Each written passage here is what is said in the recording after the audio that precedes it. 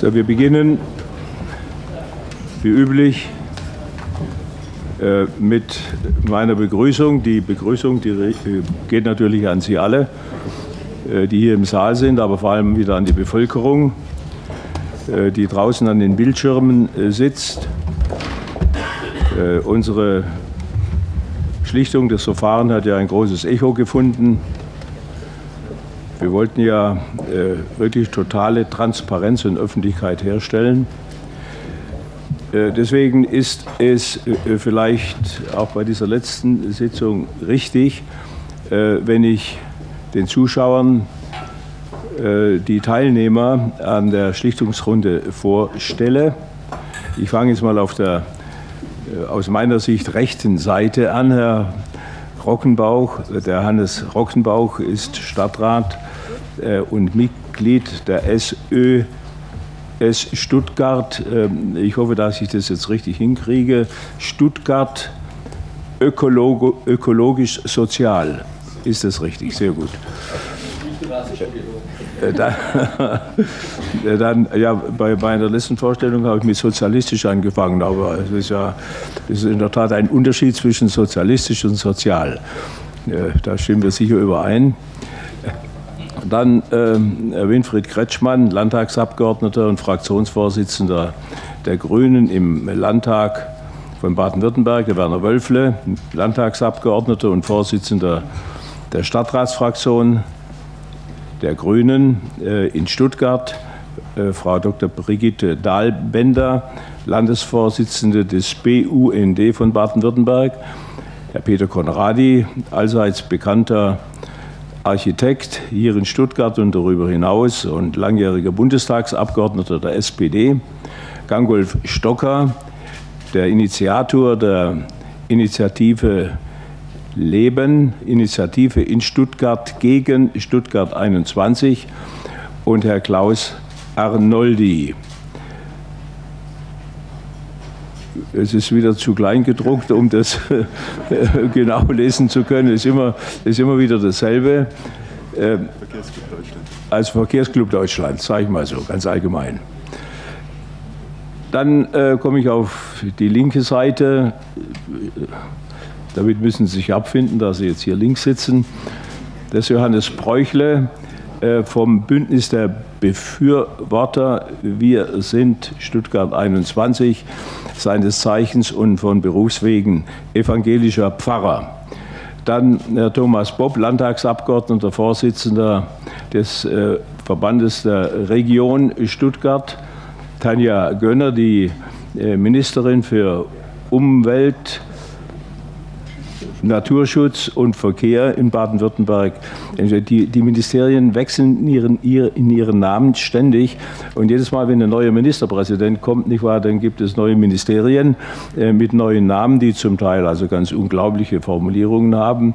Äh, aber, äh, aber nicht hier in Baden-Württemberg, das will ich also ausdrücklich sagen. Äh, dann äh, kommt Stefan Mappus, Landtagsabgeordneter und Ministerpräsident in Baden-Württemberg. Bei der ersten Sitzung habe ich ihn vergessen. Das war aber äh, ein für mich nach wie vor unerklärliches Versehen, dass das passiert ist. Ähm, aber es hat ihm mit Sicherheit überhaupt keinen Abbruch getan. Dann kommt zum ersten Mal bei uns ist Dr. Rüdiger Grohe Grube, was sage ich denn? Dr. Rüdiger Grube, Entschuldigung, ähm, der Vorstandsvorsitzende der Deutschen Bahn AG. Er sitzt äh, an der Stelle, an der sonst äh, Herr Leuschel sitzt, der hinter ihm Platz äh, genommen hat. Ähm, Herr Grube, ich darf einige Bemerkungen zu Ihnen machen. Sie sind zum ersten Mal da. Ich finde das gut, dass Sie sich jedenfalls für das Ergebnis der Schlichtung interessieren. Ich darf bei der Gelegenheit aber darauf aufmerksam machen, dass wir, dass, dass wir hier, äh, vor allem das Büro, äh, meine Mitarbeiterinnen und Mitarbeiter, natürlich im Zusammenhang mit der Schlichtung eine Menge zusätzliche Vorschläge bekommen haben. Nicht? Das ist ja, äh, diese Schlichtung hat sich auch beschäftigt mit äh, positiven Vorschlägen, wie alles möglich verbessert werden kann. Äh, und die Zuschauer, die haben mir also eine ganze Reihe von über die Schlichtung und das Thema der Schlichtung hinausgehenden Vorschläge gemacht. Also dazu gehört zum Beispiel, dass es bessere Parkplätze geben sollte bei den Bahnhöfen dann äh, der Kaffee in den ICE-Zügen äh, ist von zu verbessernder Qualität. Ich will es mal so. Ich, ich will das mal so sagen. Ich nutze jetzt die Gelegenheit, nicht? Wann hat man schon mal die Chance, nicht wahr, so etwas, etwas zu sagen, vor allem wenn man ständig mit der Bahn fährt, wie das bei mir der Fall ist. Ähm, dann die Hotlines sind ein echtes Ärgernis, nicht wahr? weil äh, man einfach äh, Minuten braucht, die noch teuer bezahlt werden müssen, obwohl das jetzt verboten wird, nicht? Äh, auf Initiative des Deutschen Bundestages, bis man überhaupt mal an die richtige Stelle kommt, wenn man zum Beispiel was verloren hat. Nicht wahr? Kommt man nicht dorthin, wo man eigentlich will, sondern man landet in einer Hotline und dann wird einem gesagt, also mit dem Fundbüro der Bahn im Bahnhof Mannheim zum Beispiel, Beispiel kann ich Sie leider nicht verbinden. Wir melden uns wieder, sobald wir etwas hören.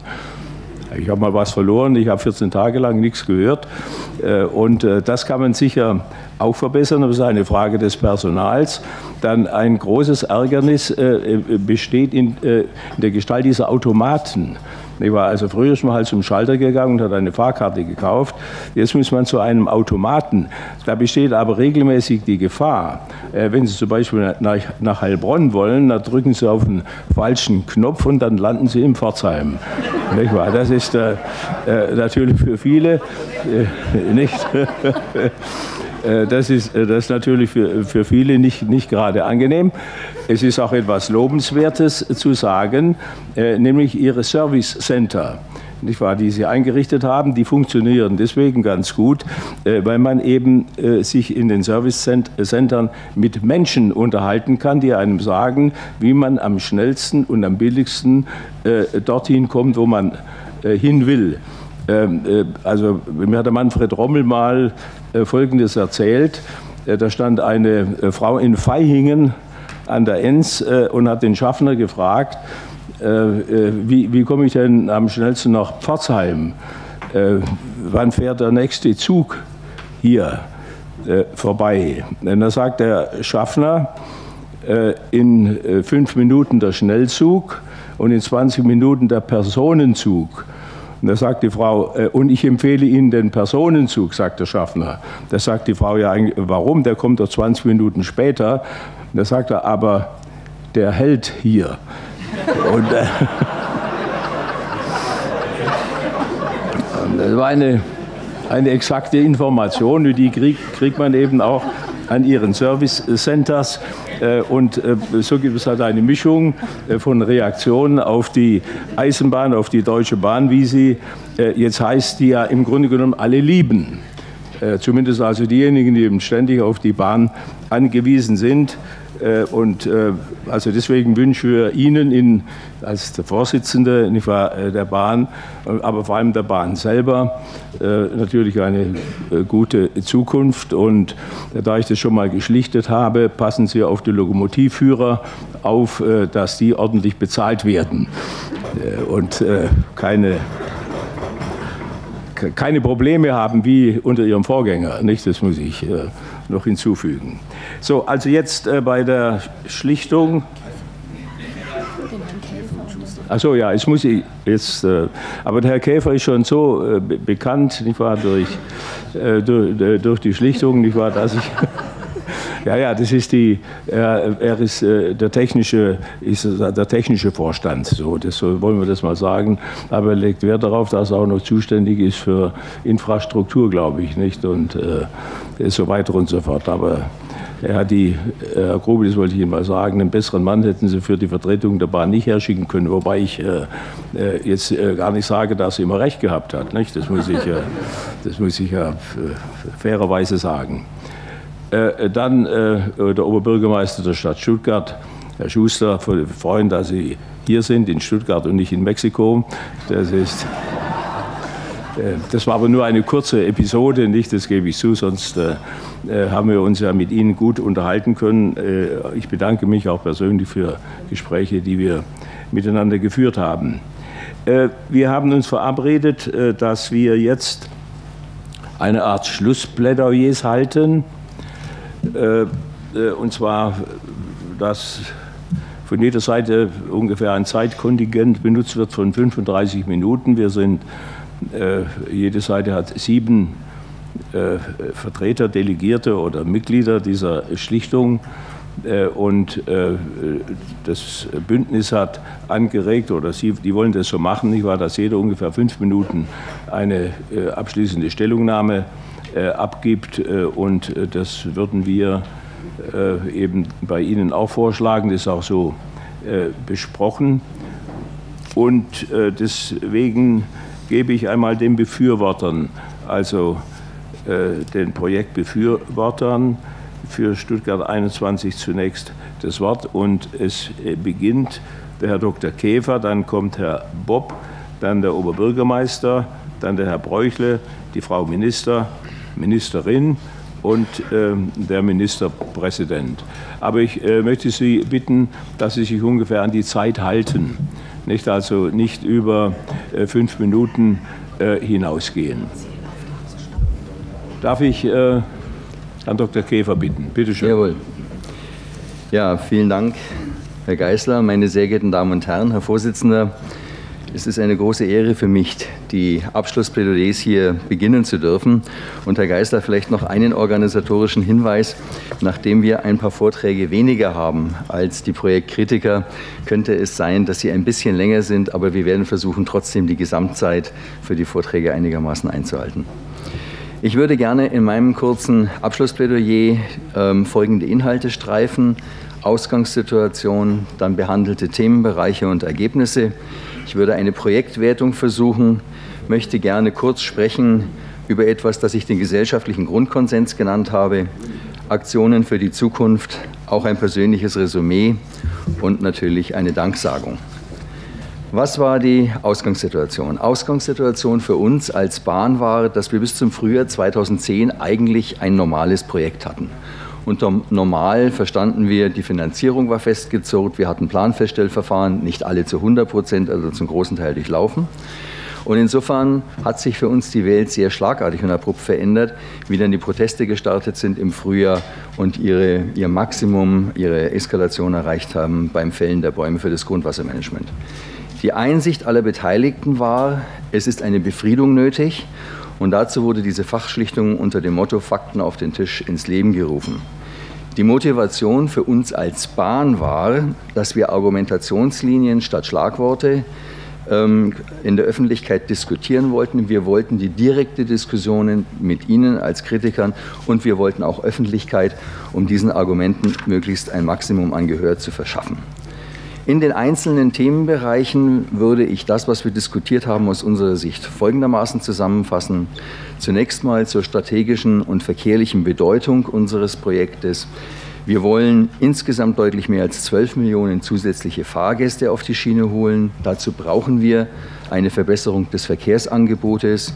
Und äh, dies erreichen wir durch Direktverbindungen über den Hauptbahnhof, höhere Taktfrequenzen und vor allem verkürzte Fahrzeiten im Fern- und Regionalverkehr. Dabei spielt die Neubaustrecke eine zentrale Rolle, denn ohne sie könnten die höheren Taktfrequenzen und die verkürzten Fahrzeiten nicht realisiert werden. Aus unserer Sicht gehören also Stuttgart 21 und die Neubaustrecke Ulm-Wendlingen zusammen. Das Alternativkonzept K21 wurde ebenfalls ähm, in einer Sitzung ausführlich diskutiert. Die Feststellung aus der Diskussion ist, dieses Konzept ist technisch machbar.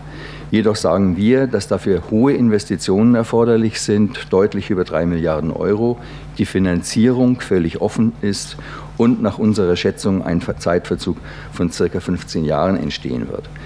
Ähm, die Neubaustrecke Ulm-Wendlingen ist auch bei diesem Alternativkonzept nötig, da ansonsten kaum verkehrliche Verbesserungen gegenüber heute entstehen und sich dann überhaupt die Frage stellen würde, warum würde dann ein solches Projekt insgesamt Sinn machen. Wir haben in der Folge dann Fragen zur Ökologie, Geologie und das Grundwassermanagement diskutiert. Feststellung von unserer Seite ist, S21 ist ein ökologisches Projekt, weil Eingriffe in die Natur durch Ersatzmaßnahmen ausgeglichen werden 100 Hektar Fläche im Stadtzentrum für eine ökologische Entwicklung bereitgestellt werden. Wir durch die Tiefbauweise einen deutlich verbesserten Schallschutz haben und mehr Verkehr auf die Schiene bringen. Bei der Geologie ist anzumerken, dass es wohl kaum ein Projekt gegeben hat in der Vergangenheit, was so ausführlich untersucht wurde. Circa jeweils 1500 Bohrungen für Stuttgart 21 und die Neubaustrecke, 1900 Feldversuche und 25.000 Laborversuche sind ein eindrucksvolles Zeugnis dafür, was da im Vorfeld passiert ist.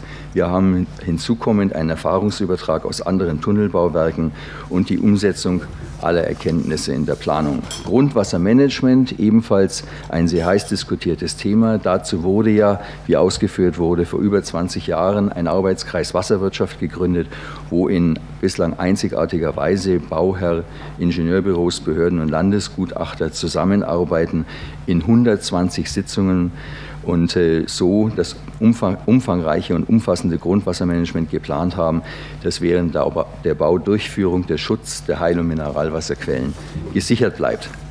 Fahrplan, Betriebskonzepte und Sicherheit ebenfalls heiß diskutiert in einer Hauptsitzung und nochmal in einer sogenannten Restantensitzung. Wir sind der Meinung, dass der Fahrplan von Stuttgart 21 die Anforderungen der Zukunft erfüllt.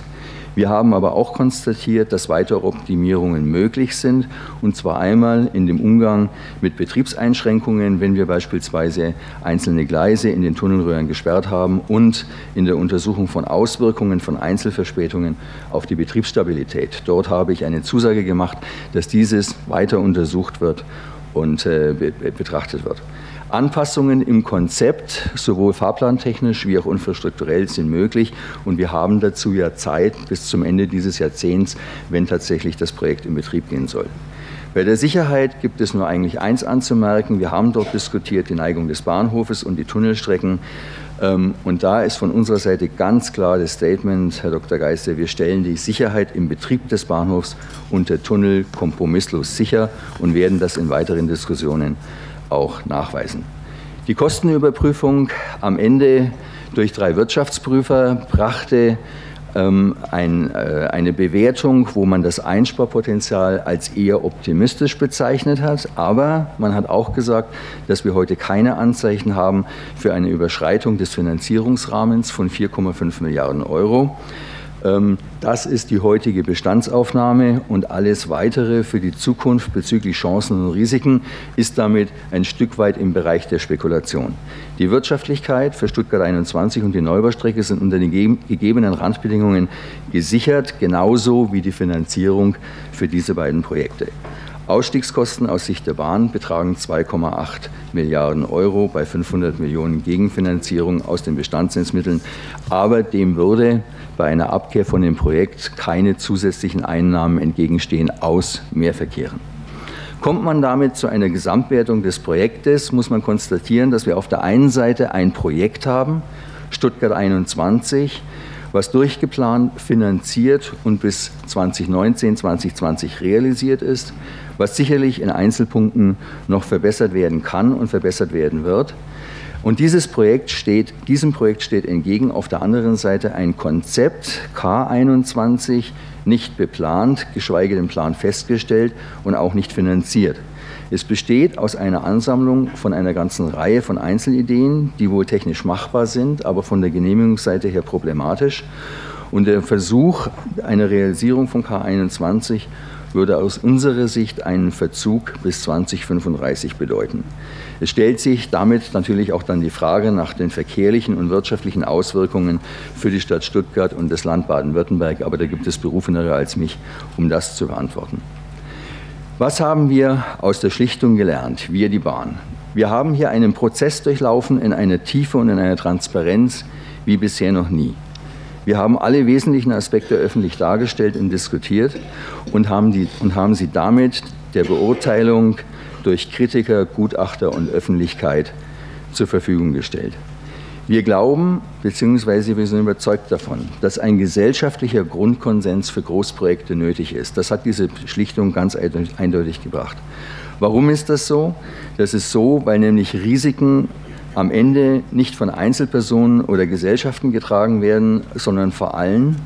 Und der Nutzen kommt ebenfalls allen zuguten. Und um einen Einklang zwischen Legalität und Legitimität zu erzeugen, ist die Akzeptanz durch die Bevölkerung ratsam. Also, um gar nicht erst eine Diskrepanz zwischen diesen beiden Punkten aufkommen zu lassen, sollte, sollten solche Großprojekte durch die Bevölkerung insgesamt akzeptiert werden. Dadurch entsteht dann Planungs- und Rechtssicherheit. Das Format der Fachschlichtung halten wir dazu für geeignet, jedoch sollte dieses Format vor dem Planfeststellverfahren stattfinden und nicht danach. Und wenn es vorher stattgefunden hat, ist mit Sicherheit auch im Anschluss die Aufrechterhaltung des Konsenses nötig. Das heißt, man muss die Erläuterungen und Erklärungen, die man in einer solchen Fachschlichtung oder in solchen Runden gibt, regelmäßig erneuern, damit sie nicht verloren gehen oder vergessen werden. Was will die Bahn in Zukunft tun? Erstens, wir werden uns stärker öffnen im, im Zusammenhang mit solchen Schlichtungsverfahren. Wir wollen deutlich mehr Transparenz für solche Projekte erzeugen. Wir werden einzelne in der Schlichtung behandelte Themenbereiche aufgreifen, auch solche Themenbereiche, die jetzt nicht unmittelbar mit der Schlichtung zu tun haben. Ich erinnere mich gut an einen Vortrag von Winfried Herrmann, der gesagt hat, der Güterverkehr ist etwas, was in Deutschland unbedingt gestärkt werden muss. Ich rede vom Güterverkehr auf der Schiene. Und hier wollen wir gemeinsam dafür kämpfen, dass wir nicht ein Entweder-Oder zu zwischen Güterverkehr und Stuttgart 21 schaffen, sondern ein sowohl als auch zwischen diesen beiden Themenbereichen. Und wir wollen uns stärker um den gesellschaftlichen Grundkonsens bemühen, bei einzelnen Projekten, aber auch insbesondere bei kompletten Verkehrsstrategien, natürlich insbesondere Schienenverkehrsstrategien. Aber, meine Damen und Herren, wir wollen dabei auch fair behandelt werden. In der Schlichtung sind wir das, allermeistens, Herr Geisler, auch ähm, äh, dank Ihrer Moderation. Ähm, und diesen Prozess in der Fairness hätten wir gerne fortgeführt. Wir haben natürlich darüber hinaus jeder von uns auch persönlich etwas aus der Schlichtung mitgenommen. Und ich möchte mir am Ende meines Vortrages das gerne noch gönnen. Was habe ich persönlich aus der Schlichtung gelernt? Das erste ist, ich werde meinen persönlichen Grundwerten, jeder Mensch hat Grundwerte, zwei weitere hinzufügen. Das heißt, ich werde nicht meine Grundwerte aufgeben, aber ich werde ihnen zwei weitere hinzufügen nämlich Demut und Beharrlichkeit. Demut, um mich zum einen auf Diskussionen in Zukunft einzulassen, die ich sonst in dieser Form vermutlich nicht geführt hätte. Das habe ich bei dieser Schlichtung gelernt. Und Beharrlichkeit, um auch dann zu Lösungen zu kommen, wenn Standpunkte unvereinbar erscheinen. Erscheinen, nicht sind, sondern erscheinen. Und für beides waren Sie, Herr Geisler, ein exzellentes Beispiel. Ich kann mich an einige Gelegenheiten erinnern während dieser Schlichtung, wo Sie uns beide Grundwerte exzellent vorgeführt haben und daraus habe ich einiges gelernt. Am Ende möchte ich schließen mit einer Danksagung. Ich danke zunächst mal den Projektkritikern, ohne die das Projekt sicherlich nicht die öffentliche Transparenz hätte, die es heute hat. Das muss man ihnen zugestehen und konstatieren. Ich möchte meinen Projektpartnern danken für ihre Kooperation in diesem Schlichtungsverfahren.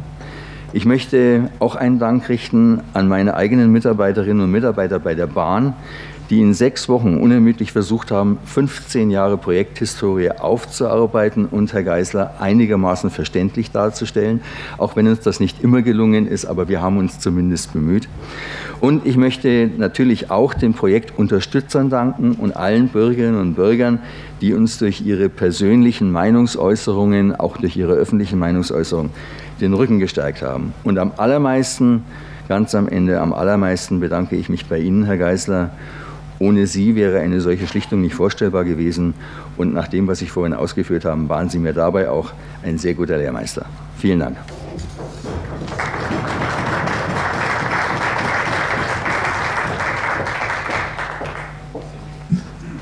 Vielen Dank, Herr Käfer.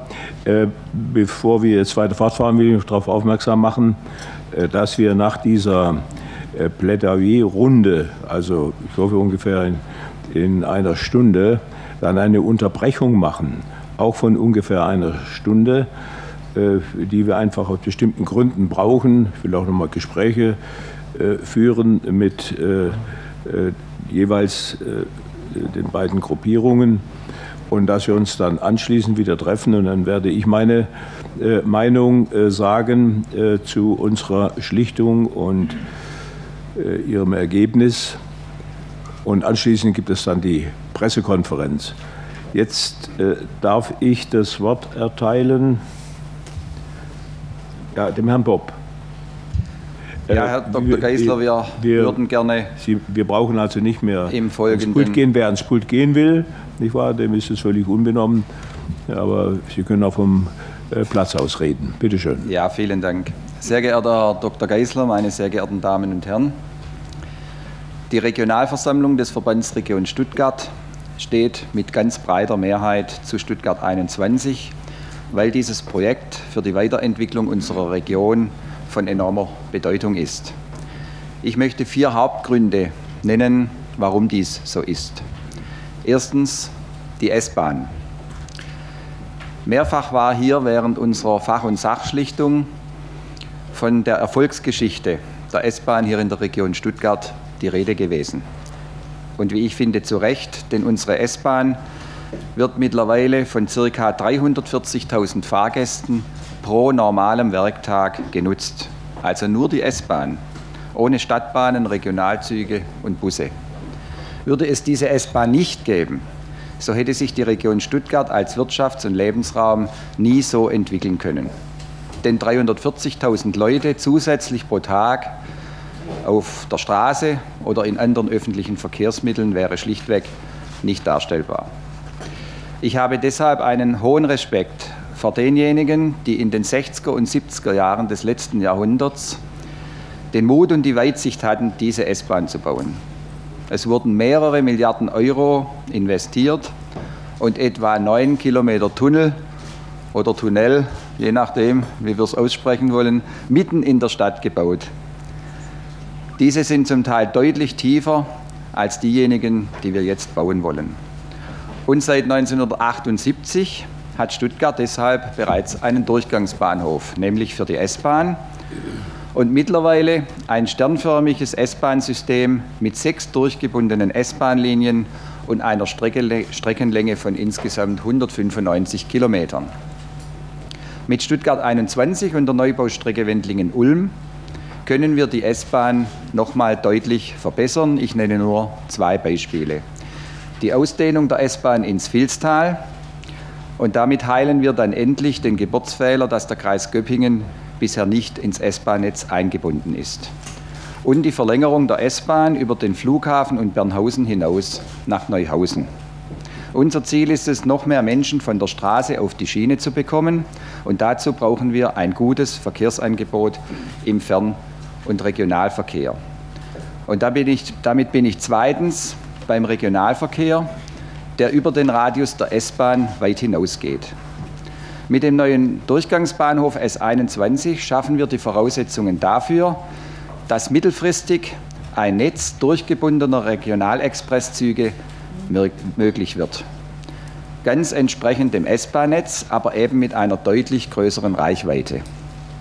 Damit verdoppelt sich der Einzugsbereich der Region Stuttgart von heute 2,6 Millionen Menschen auf über 5, 5 Millionen Menschen in der Metropolregion. Und an dieser Stelle reden wir von einem Jahrhundertprojekt. Wir haben die Entscheidung für eine neue Infrastruktur getroffen, deren vollständiger Nutzen zum Teil erst in vielen Jahren eintreten wird, genau wie bei der S-Bahn. Wir sollten heute den gleichen Mut und dieselbe Weitsicht haben wie die S-Bahn-Pioniere vor 40 Jahren.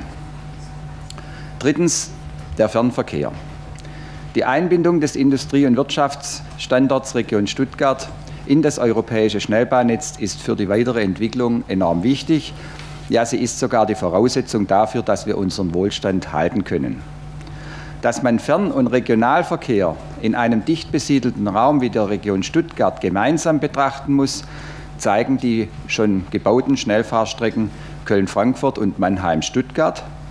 Mit einer Fahrzeit von knapp 40 Minuten ist Mannheim in eine Pendlerentfernung an Stuttgart herangerückt. Viele Menschen pendeln zwischen eben diesen Räumen und zwar eben auf der Schiene und nicht wie früher auf der Straße. Zwischen Stuttgart und Ulm ist das heute leider noch nicht so. Stuttgart 21 und die Neubaustrecke um Ulm-Wendlingen eröffnen uns diese Zukunftschance. Und viertens und letztens die Raumplanung. Der Regionalplan des Verbandsregion Stuttgart fordert den schonenden Umgang mit Flächen und formuliert als Ziel der Siedlungsentwicklung die Innenentwicklung vor der Außenentwicklung.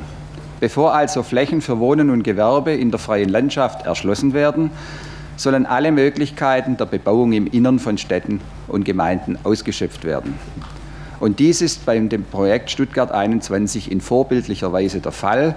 Durch den Wegfall der Gleise in der Stuttgarter Innenstadt werden große Flächen für Parkerweiterung und Wohnungsbau frei, sodass die Stadt auf geplante Neubebauungen am Rand der Stadt verzichten konnte. Stuttgart 21 ist also das größte Innenentwicklungsprojekt unserer Region, vielleicht sogar des ganzen Landes. Nur dieses Projekt bietet der Stadt Stuttgart die Chance, die schweren Eingriffe, die vor 100 Jahren mit den Gleisanlagen in das Stadtgefüge gemacht wurden, wieder zu beseitigen und die Stadtteile Stuttgart Nord und Ost wieder zu vereinigen. Meine sehr geehrten Damen und Herren, wir haben in der Fach- und Sachschlichtung intensiv über Betriebsprogramme und Fahrpläne für das Jahr 2020 diskutiert. Mit Ihrer Unterstützung, Herr Dr. Geisler, wurde das Projekt in einer sehr verständlichen Weise aufbereitet. Das ging oft sehr ins Detail, aber das war wichtig. Es ist aber genauso wichtig, dass wir uns mit Stuttgart 21 für eine Lösung entschieden haben, die weit über 2020 hinaus Perspektiven und Optionen hat.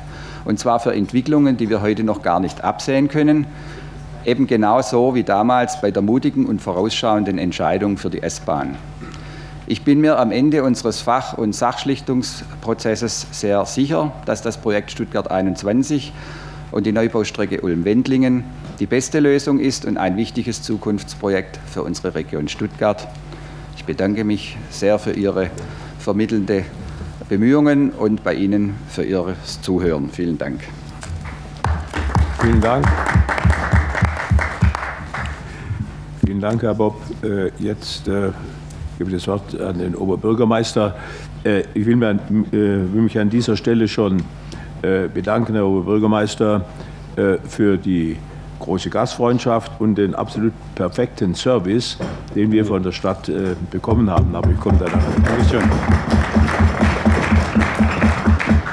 Sie haben das Wort. Vielen Dank, Herr Dr. Geisler. Und ich möchte den Dank zurückgeben für die große Beharrlichkeit. Sie sind ja auch bekannt als Bergsteiger, um diese komplexen Sachverhalte ähm, verständlich für die Bürger zu machen und zu vermitteln. Äh, in der Tat, wir waren gerne Gastgeber, denn wir wollen ein offenes Rathaus sein, ein Haus des Dialogs mit den Bürgerinnen und Bürgern. Die intensiven Diskussionen und vielfältigen Fragestellungen haben gezeigt, dass es beim Projekt Stuttgart 21 wie bei möglichen Alternativen kein Schwarz-Weiß gibt. Die Schlichtungsgespräche haben dankenswerterweise zu einer Versachlichung und höheren Transparenz dieser komplexen Sachverhalte und auch des Projekts Stuttgart 21 und der Neubaustrecke beigetragen. Es wäre wünschenswert, wenn künftig bei großen Projekten die Verfahren von der Entscheidungsfindung bis zur Baugenehmigung schneller realisiert würden. Hier hatten wir immerhin eine Verfahrensdauer von rund 20 Jahren. Und zugleich wäre es wünschenswert, dass in Ergänzung zu rechtlichen, den rechtlichen Verfahren in einer kompakten Weise öffentliche Diskussionen mit Experten pro und contra diskutiert wurden, wie wir es jetzt sehr intensiv in den letzten Wochen hier im Stuttgarter Rathaus erlebt haben. Und insoweit kann dieses von Ihnen, Herr Dr. Geisler, gestaltete Verfahren durchaus beispielgebend sein. Wie soll es weitergehen? Zum einen wir wollen ein Bürgerforum Bahnprojekt Stuttgart-Ulm einrichten. Wir werden mitten in Stuttgart eine große Baustelle für die nächsten zehn Jahre haben. Es gilt bei diesem langwierigen und komplexen Baugeschehen die Bürger ebenfalls zu beteiligen. Anknüpfend an die Stiftung wollen wir ein solches Bürgerforum einrichten, bei dem die Bürger ihre Anregungen, Sorgen, Wünsche einbringen können. Dies gilt auch für die gewählten Bürgervertreter, das heißt die Gemeinderätinnen und Gemeinderäte. Wir wollen dabei uns unterstützen lassen von Experten und solche Diskussionen via Videotechnik allen öffentlich zugänglich machen. Zum Zweiten, wir wollen eine Stiftung Rosenstein einrichten. Für uns Stuttgarter eröffnet das Bahnprojekt besondere städtebauliche Chancen. Vor rund 100 Jahren wurden die schönen Parkanlagen in der Stadt Richtung Neckar stark zerstört und riesige Gleisanlagen gebaut. Dank Stuttgart 21 können wir über 100 Hektar Gleisfläche mitten in der Stadt wieder verschwinden. Die Stadtteile Nord und Ost können sich wieder vereinen und die Parkanlagen erweitert werden. Und diese wirklich historische städtebauliche Chance gilt es zu nutzen. Und das war der Grund auch, dass die Stadt die Flächen im Vorgriff gekauft hat. Zwar steht ein kleiner Teil dieser Grundstücke schon jetzt zur Verfügung, doch die wesentlichen Flächen können erst ab 2020 bebaut werden. Und deshalb haben wir erneut eine Bürgerbeteiligung gestartet. Durch Workshops mit Jugendlichen werden wir auch die nächste Generation in den Gestaltungsprozess einbeziehen, denn für die bauen wir ja letztlich dieses Bahnprojekt und für die wollen wir diese Stadtentwicklung gestalten. Denn wir möchten gute Zukunftschancen für unsere Kinder und Enkelkinder damit eröffnen. Ich freue mich, dass sich so viele Bürgerinnen und Bürger, ob jung oder alt, an diesem städtebaulichen Gestaltungsprozess beteiligen.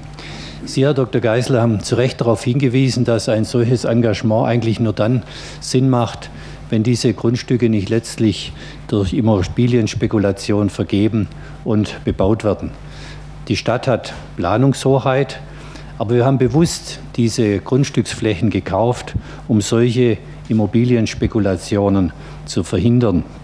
Und deshalb macht es Sinn, dass wir diese Grundstücke in die Verfügung einer gemeinnützigen städtischen Stiftung geben. Eine solche Stiftung unter Kontrolle des Gemeinderats und unter Beteiligung von Bürgern und Experten soll dann städtebauliche Ziele und Inhalte beschließen, die nur mit einer Dreiviertelmehrheit des Gemeinderats wieder geändert werden könnten. Mit einer solchen Stiftung könnte das sichergestellt werden, was vielen Bürgerinnen und Bürgern und auch mir persönlich wichtig ist, nämlich eine nachhaltige Stadtentwicklung unter sozialen, wirtschaftlichen und ökologischen Gesichtspunkten. Und dabei sollten wir Schwaben, wir sind ja durchaus ehrgeizig, uns auch ehrgeizige Ziele setzen. Denn ich bin sicher, dass es in zehn Jahren möglich sein wird, ein CO2-freies Stadtquartier zu realisieren. Zugleich wollen wir eine schrittweise organische Entwicklung zu einem lebendigen, sozial vielfältigen Stadtquartier. Dies politisch und rechtlich verbindlich zu vereinbaren, ist mit einer Stiftung Rosenstein besser zu verwirklichen. Auch diese Art der Gestaltung eines großen Stadtquartiers unter intensiver Beteiligung der Bürger wäre beispielgebend für andere Stadtentwicklungsprojekte, nicht nur in Stuttgart, sondern weit darüber hinaus. Und deshalb möchte ich auch diejenigen, die vom Bahnprojekt Stuttgart-Ulm nicht überzeugt sind, einladen, aktiv sich in die städtebauliche Gestaltung einzubringen.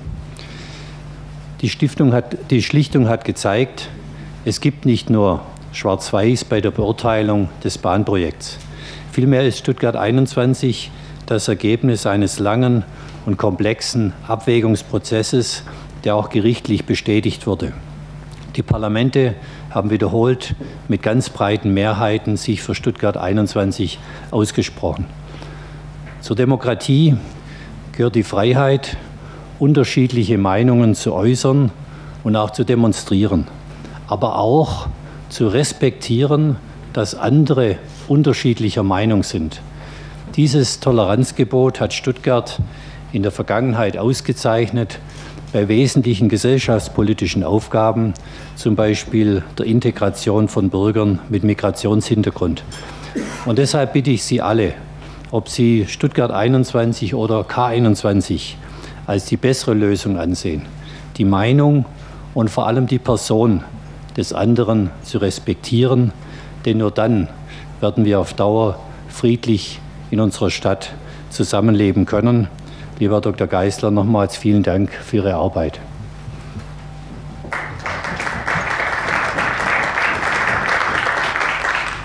Vielen Dank, Herr äh, Schuster. Ich mache darauf aufmerksam, wir sind voll dabei, das Zeitkontingent zu überschreiten.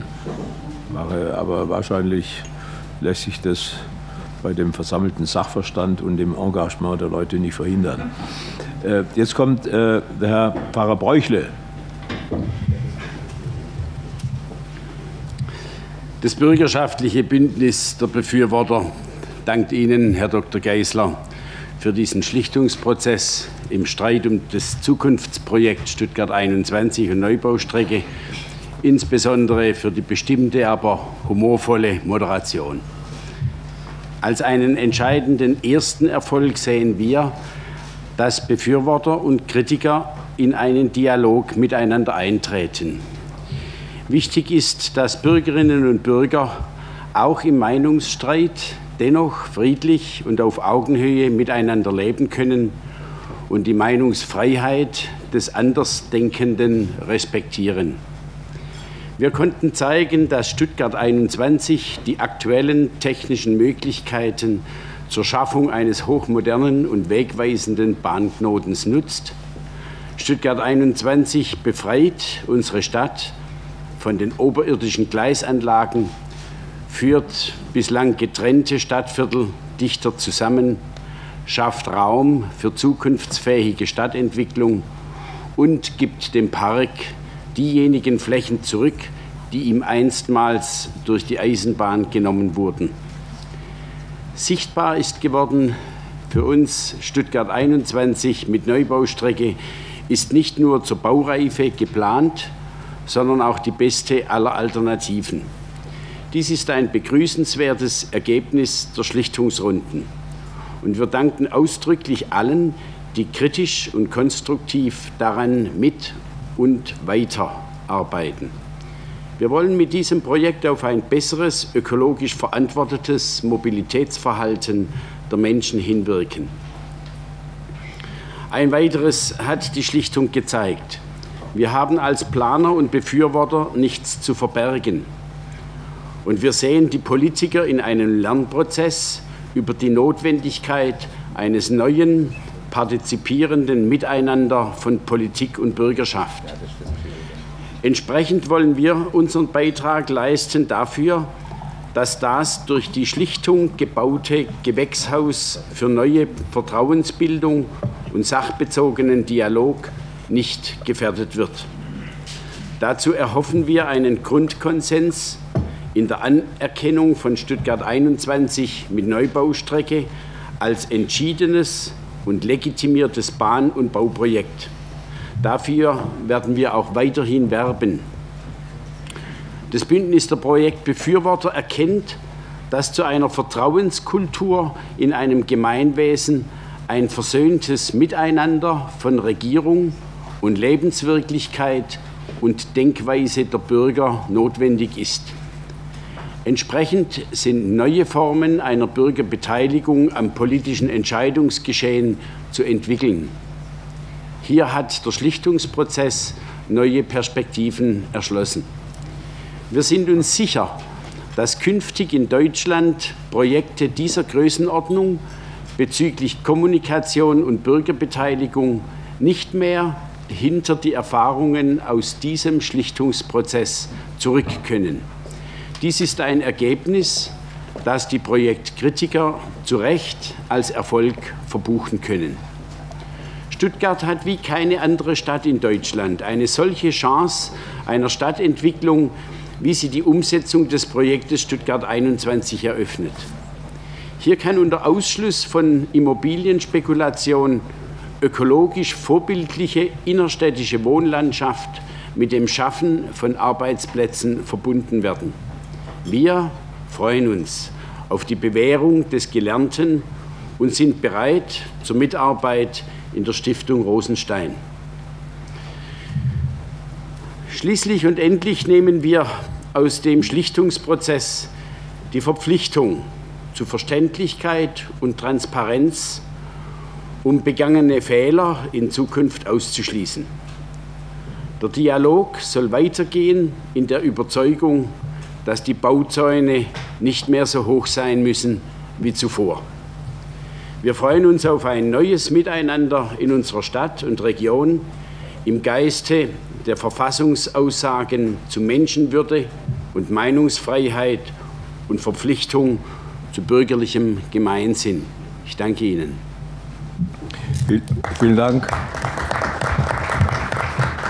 Äh, vielen Dank, Herr Beugt. Es ist tatsächlich als Erfolg anzusehen, dass Sie äh, bereit sind, in einem Gewächshaus mit Herrn Rockenbauch und Herrn Stocker zu wachsen und zu blühen. Jawohl. So kann ich das sicher verstehen. Vielen Dank. Äh, jetzt ähm, darf ich der Frau Ministerin Gönner das Wort geben. Ja, sehr geehrter Herr Geisler, meine sehr geehrten Damen und Herren, ich will mich zu Beginn zunächst einmal bedanken für die Rückkehr der Sachlichkeit, die, glaube ich, die vergangenen sechs, sieben Wochen sehr stark geprägt hat. Und ich wünsche mir, dass dieser Geist auch nach Ende der Schlichtung weiter gilt, weil ich es für wichtig für die Stimmung in dieser Stadt halte. Ich will mich ausgesprochen bei Ihnen, lieber Herr Geisler, bedanken. Sie haben in einer unnachahmlichen Weise uns durch diese Wochen geführt und Sie haben immer dann, wenn eine etwas schwierige Situation war, ist es Ihnen gelungen, die Stimmung aufzulockern. Dafür ganz herzliches Dankeschön. Das führte auch immer mal wieder zu schönen Lachanfällen und ich glaube, Lachen tut dem Menschen gut und deswegen ein ganz herzliches Dankeschön auch dafür. Ich will die Ergebnisse der Schlichtung aus Sicht des Landes kurz darstellen. Die Schlichtung hat für uns gezeigt, Stuttgart 21 ist leistungsfähig. Mit Stuttgart 21 werden pro Tag 37 Prozent mehr Züge fahren als heute. Dieses Angebot wäre mit dem heutigen Kopfbahnhof nicht fahrbar. Wir können einen 30-Minuten-Takt im Fernverkehr realisieren und für den Fall, dass in der Zukunft darüber hinaus nochmals weitere Verkehrsbedarfe entstünden, gibt es verschiedene Ausbauoptionen im Projekt. Es ist richtig, K21 ist technisch machbar, es ist aber kein besseres Verkehrskonzept.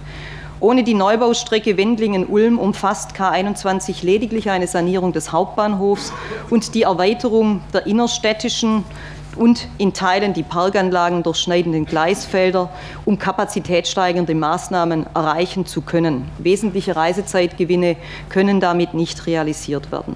Wir erkennen an, dass nun ein Betriebskonzept K21 vorliegt. Dieses ist aber nicht geprüft und es setzt außerdem voraus, dass eine Erweiterung der Zulaufgleise von bisher fünf bzw. sechs auf neun oder zehn erfolgt. Damit wiederum verbunden ist das Eingeständnis, dass der heutige Kopfbahnhof in absehbarer Zeit an seine Leistungsgrenze kommt.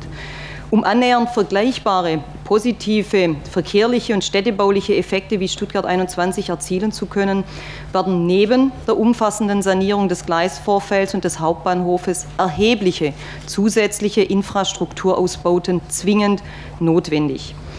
Konkrete Planungen fehlen vollständig, das ist kein Vorwurf, das ist natürlich nachvollziehbar, aber Raumordnungs- und Planfeststellungsverfahren bedingen lange Planungszeiträume, unter anderem weil auch bei K21 die Beteiligungsrechte der Bürger nicht ausgehebelt werden dürfen.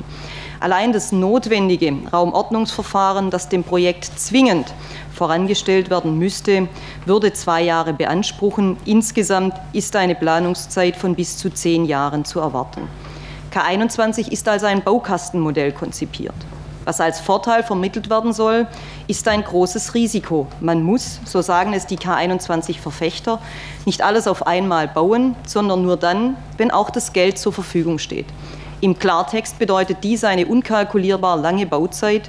Der volle verkehrliche Nutzen entsteht aber erst, wenn alle fünf Module dann vielleicht in 25 oder 30 Jahren gebaut sind. Das heißt aber auch, der ökologische und der wirtschaftliche Nutzen der Erweiterungen wird erst dann eintreten. K21 bedeutet außerdem Bauen unter dem rollenden Rad, das heißt also mit Beeinträchtigung für die laufenden Angebote für mindestens 10 bis 15 Jahre oder vielleicht auch eine längere Zeit. Die Kosten für K21 werden hoch sein. Die Entwickler von K21 gehen selbst von 2,5 Milliarden Euro an Kosten aus ohne dass darin die zahlreichen zusätzlichen Infrastrukturausbauten berücksichtigt wären, die in dieser Diskussion ja auch deutlich wurden. Professor Heimer hat überzeugend dargelegt, dass die Kosten bei ca. 3,5 Milliarden Euro liegen werden. Eine Finanzierung dafür gibt es nicht. K21 bedeutet daher zunächst Stillstand statt Fortschritt. Die Neubaustrecke Wendlingen-Ulm ist für das Land ohne Alternative. Wir brauchen die Neubaustrecke, um im Fern- und Nahverkehr ein attraktives Angebot bieten zu können. Fahrzeitverkürzungen zwischen Stuttgart und Ulm von 54 auf 28 Minuten.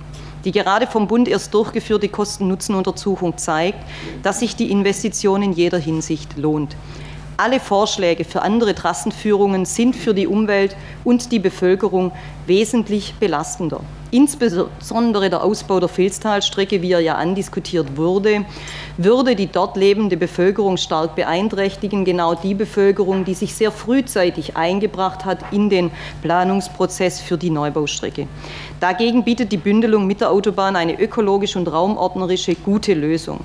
Wer auf die Realisierung von Stuttgart 21 und der Neubaustrecke verzichtet, verschenkt Investitionsmittel des Bundes in Milliardenhöhe, die im Übrigen in anderen Ländern hochwillkommen sind. Wer heute auf die Realisierung von Stuttgart 21 und der Neubaustrecke verzichtet, der schadet dem Wirtschaftsstandort Baden-Württemberg. Wir sind uns sicher, dieses Projekt wird sich für Baden-Württemberg auszahlen und eine hohe Akzeptanz erfahren. Meine sehr geehrten Damen und Herren, die Schlichtung hat auch gezeigt, zum Schutz der Mineralquellen wurde alles getan. Hier wird mit Gürtel und mit Hosenträger gearbeitet, weil uns allen bewusst ist, dass wir mit wertvollen Gütern umgehen. Seit etwa 20 Jahren begleitet ein Arbeitskreis Wasserwirtschaft die Planungen, um sicherzustellen, dass keine Gefahren für die Mineralquellen entstehen. Herr Professor Wittke hat eindrucksvoll geschildert, wie die geologischen Besonderheiten in der Planung berücksichtigt sind. Das Sicherheitskonzept ist geprüft und bestätigt. Die Wirtschaftsprüfer haben bestätigt, dass nach derzeitigem Stand die Kostenkalkulation der Deutschen Bahn innerhalb des Finanzierungsrahmens bleibt. Auch der Bund steht zu Stuttgart 21 und der Neubaustrecke. Nach alledem bin und bleibe ich überzeugt davon, Stuttgart 21 und die Neubaustrecke sind richtig für Baden-Württemberg. Unser hohes finanzielles Engagement wird sich rechnen.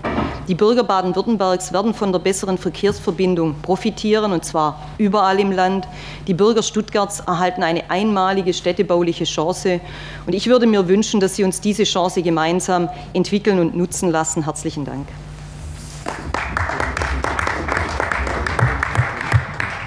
Dankeschön. Frau Gönner, jetzt der Ministerpräsident. Bitte schön, Sie haben das Wort. Ja, meine sehr verehrten Damen und Herren, ich möchte zunächst Ihnen, lieber Herr Geisler, sehr herzlich danken.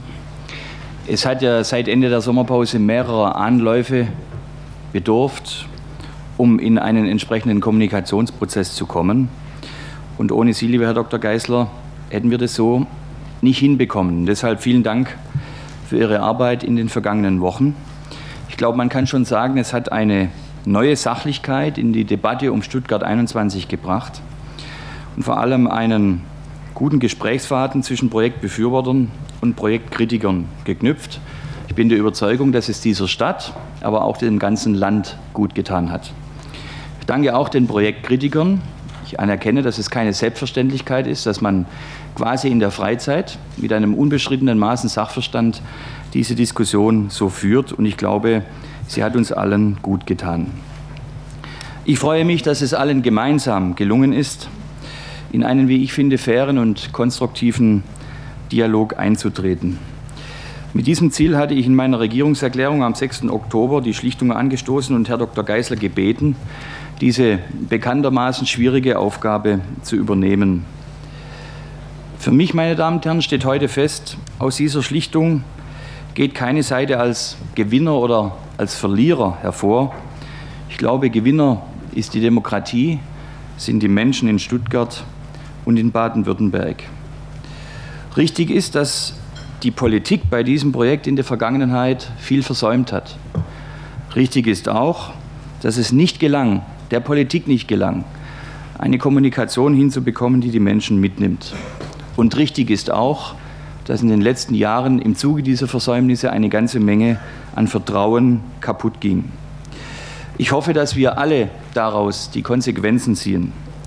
Ich jedenfalls habe persönlich aus den Ereignissen der letzten Monate viel gelernt. Meine Damen und Herren, Baden-Württemberg zählt zu den wirtschaftsstärksten Regionen Deutschlands und Europas. Und wir sind in Baden-Württemberg stolz auf unseren Wohlstand, vor allem auf die Innovations- und Schaffenskraft.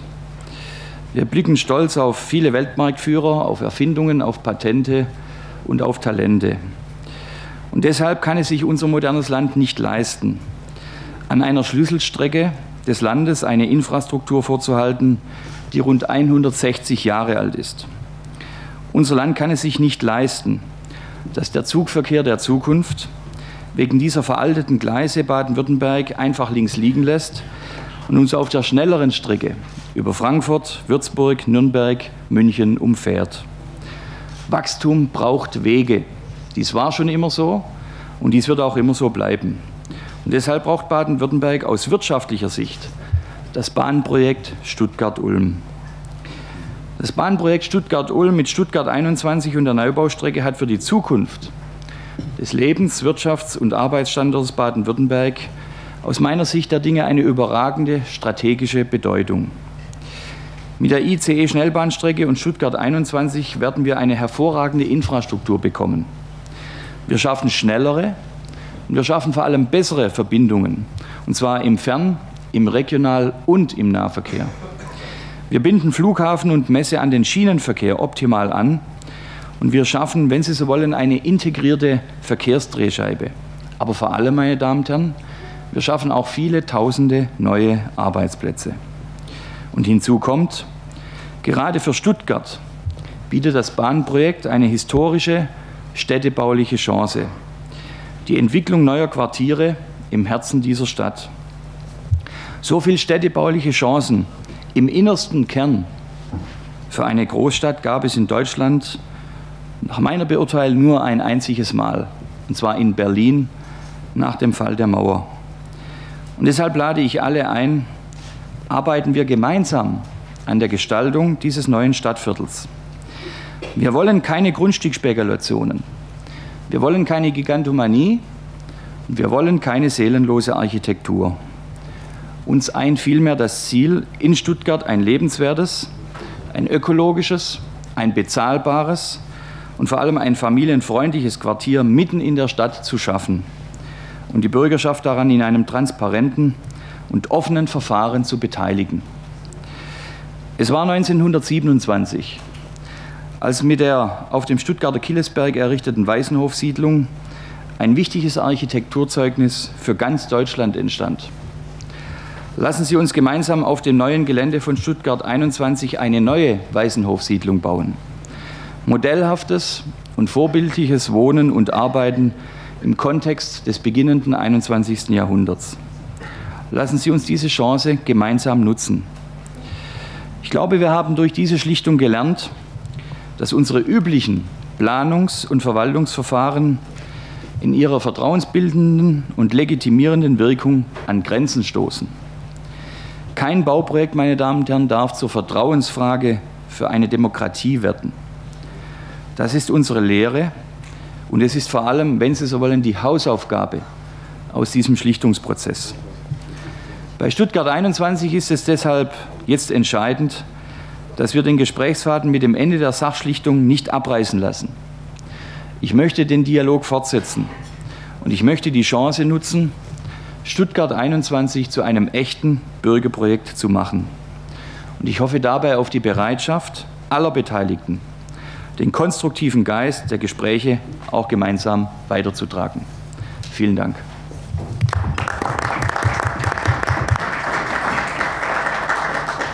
Dankeschön, Herr Ministerpräsident. Nun äh, kommen wir zu den Plädoyers der Projekt Gegner. Ich, äh, Sie sind ja nicht nur Gegner, sondern sind ja auch für etwas.